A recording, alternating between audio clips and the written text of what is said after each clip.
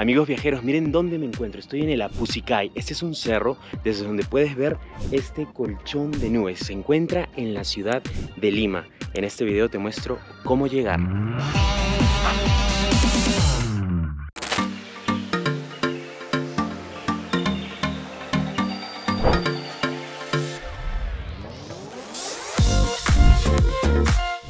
Amigos, aquí iniciamos nuestro recorrido hasta el Apucicay. Me está acompañando Renzo, quien va a editar este video. Saludos. Y su tío William, quien se ha unido al grupo. Ahora, hay muchas formas para llegar a la Pusicay. Pueden ir en transporte privado, pueden ir en buses, pero creo que la forma más conveniente es tomar el metro de Lima. Pueden tomarlo en cualquier estación, pero la idea es bajarse en la estación María Auxiliadora. Hay mucha fila, estamos en pandemia, claro que tienen que tener la mascarilla y también el protector facial si van en esta temporada. Así que vamos a tomar el metro.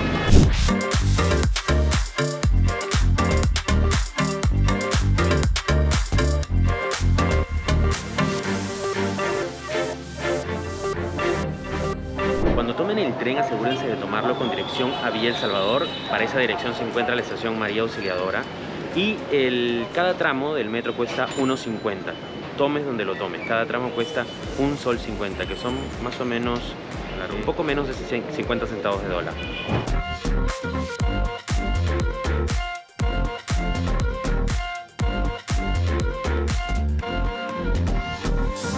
Bajamos en la estación María Auxiliadora, ahora tenemos que tomar un colectivo que nos va a llevar hasta la base del Apucicay.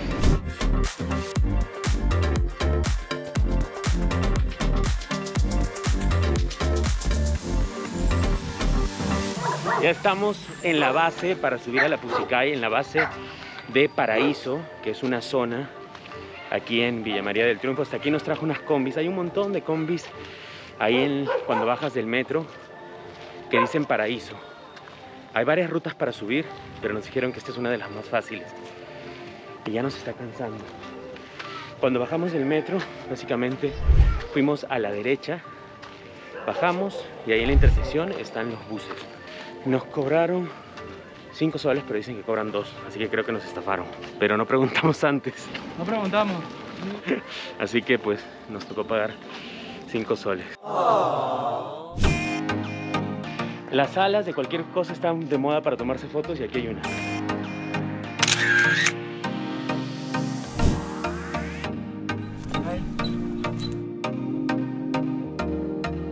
Ahora, una de las cosas interesantes de hacer esta ruta es que van a ver una zona en desarrollo de Lima que es el distrito de Villa María del Triunfo, donde muchas personas viven en las orillas de los cerros. Son zonas en desarrollo, algunas necesitan agua potable, tampoco están asfaltadas, por lo menos esta zona de paraíso donde bajamos. Pero algo muy interesante es que aquí ya encuentras verde y flores. Esto es porque la neblina que vemos de ese colchón de nubes se concentra justo aquí y eso riega las plantas. Por eso más arriba ya no se encuentran áreas verdes como esta zona por lo menos y abajo tampoco. Algo súper interesante.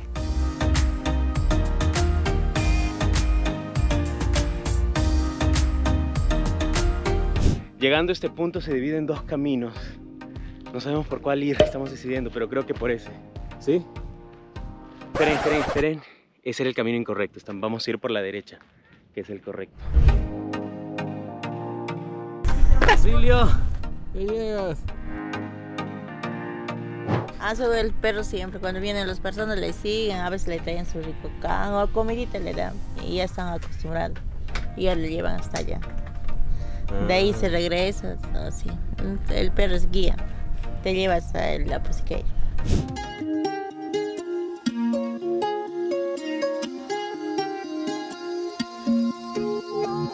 ¿Fácil para ti, Renzo? Nada fácil, ¿eh? Nada fácil.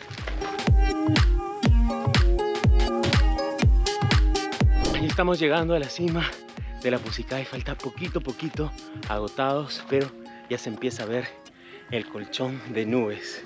Teníamos miedo de que no lo íbamos a ver porque hoy Lima estuvo un poco despejada, pero ahí está. Así que esperemos que la vista sea espectacular.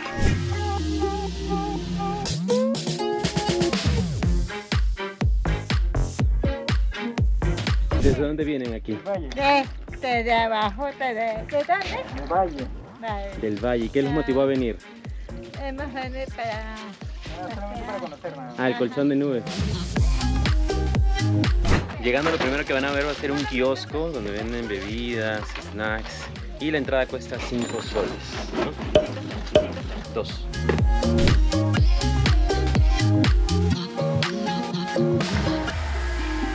Ya en la cima de la Pusicay van a encontrar la estatua de un inca, este de aquí, y también la de un cisne que está más arriba, que es muy popular donde hay aquí, aquí, aquí, aquí.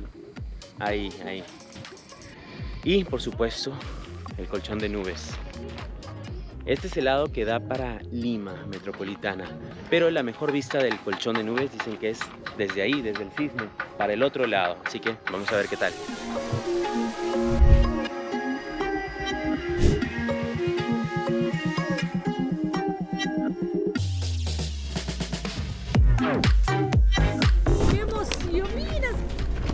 Yo vengo del mercado de Mercado Girasol. No de la novela.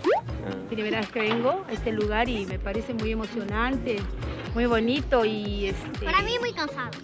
claro Sí. que este hace un poco de ejercicio, pero más que eso ya descansar y ver todas las maravillas y eh, es, emocionante, es emocionante. ah, ya. Vinimos con nuestras perritas. Ella es gordita. porque es gordita?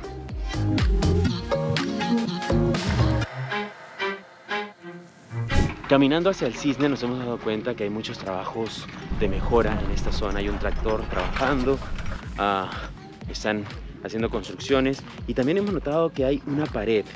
Esa supuestamente es la pared de la vergüenza, creo que le llaman, que es una pared que divide la parte que tiene un poder ah, adquisitivo de dinero alto en Lima a comparación de esta parte que está en desarrollo. Entonces, por eso le llaman la pared de la vergüenza. Ah, o el muro de la vergüenza, porque divide dos zonas de Lima muy diferentes. ¿Qué te parece hasta ahora, Renzo? Muy bonito, la vista es algo que no esperaba encontrar acá en Lima, cerca. Estoy, no estoy decepcionado, de verdad. Estoy muy conforme, está muy hermoso. ¿Así, bien o mal? Bien.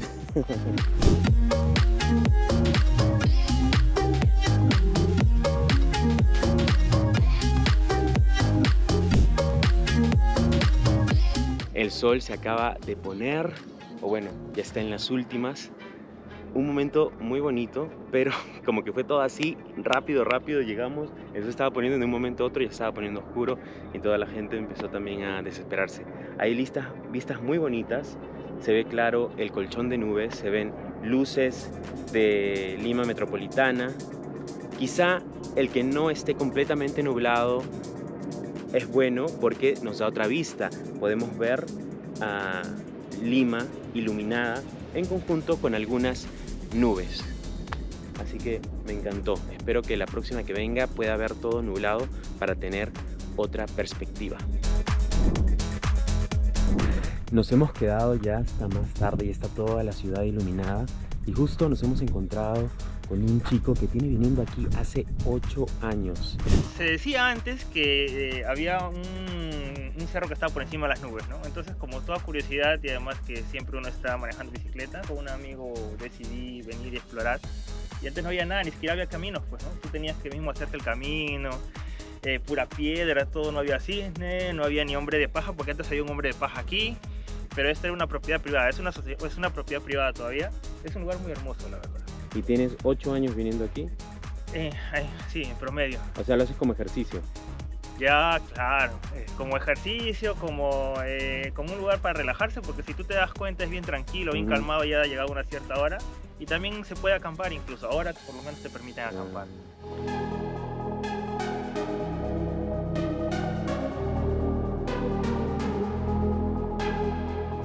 Ahora ya vamos a descender.